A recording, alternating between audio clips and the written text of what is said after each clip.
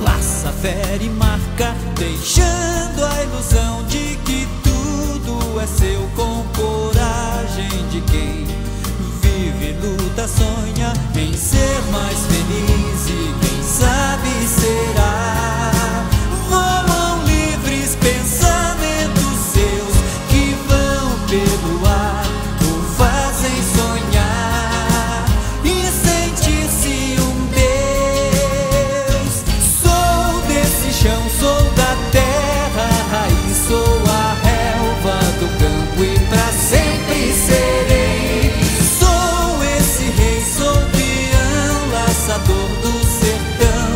Senhor mais.